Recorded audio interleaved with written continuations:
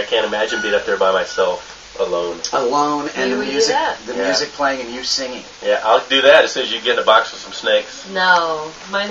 Yours is way more um, reasonable. I got buried in the coffin underground for three days for a radio. What? Yeah, hmm never happier. Yeah, there was a, there was a pipe that went up to the to the top. They had to have an armed security guard there at all times so that nobody would come and like pour stuff down the pipe. For three days. Yeah, they nailed it shut. You don't pee or poop.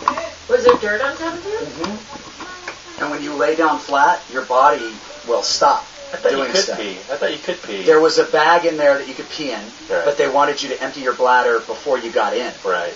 and so you had to. We did that for motion as well. And then they le- they gave you um, a little thing of Gatorade, but it was a small thing of Gatorade, and you had to just take tiny sips. And uh, they would give you like little. They gave you a, a like little uh, uh, granola bars, but the same thing. They just wanted you to nibble on it. They They didn't dropped want it down you. the pipe? No, that was there for you. You know, when you got into the coffin, that was what was in there for you. There was a light. There was a light bulb. They attached to a light bulb inside of it that you could turn off with a little chain. And uh, the only other thing in there was a phone because I had to do call-ins to the radio station.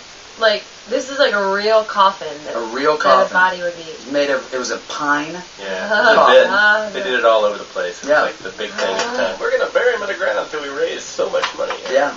And they put me in there, and they and I remember what I remember so distinctly about it was them n- nailing it because they put nails in it. Oh my gosh. and they nailed it shut, and then they buried it, and then you could hear the dirt pouring oh, Okay. on top of it. And then there was, but but there was a pipe that went up to the top, and the pipe at the top had a had a, a bend in it, and it had a mirror, and so people could look down into the pipe and see my eyes as I laid underground with the light on. the creepiest thing I've ever heard. You know, for me, I kind of liked the, yeah, I felt safe. What Yeah. about when the dirt was dropping? What was going through your head? That was unnerving. There's no doubt about it. When the nails went in and when the dirt was being poured on top of it, it was unnerving. There's no doubt. But I, I was thinking about it. but I knew. I was like,